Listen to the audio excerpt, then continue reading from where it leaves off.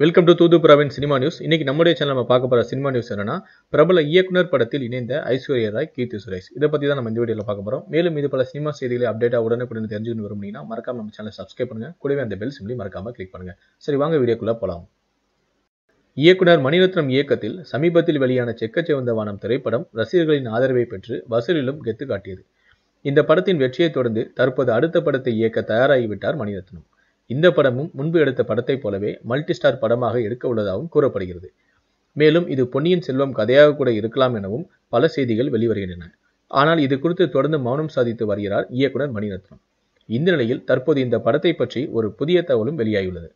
அதாவது மணிரத்னம் இயக்குள்ள அடுத்த படத்தில் நடிகர் விக்ரம் மற்றும் சிம்பு ஆகியோர் நடிக்க உள்ளதாகவும் இதில் கதாநாயகிகளாக நடிக்க நடிகை ஐஸ்வர்யாவிடம் பேசி அவரை ஒப்புக்கொள்ள வைத்து விட்டதாகவும் கூறப்படுகிறது.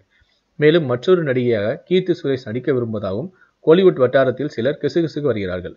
இயக்குனர் மணிரத்னத்தை பொறுத்தவரை பல நடிகர்களை வைத்து படம் இயக்குவது அவருக்கு புதிதல்ல. அதே போல பல மொழிகளிலும் வெளியிடுவது என்கிற வியாபார முத்தி மிகவும் பாதுகாப்பாக இருப்பதால் மணிரத்னம் இதை கடைபிடிக்கிறார் என்றும் சொல்கிறார்கள்.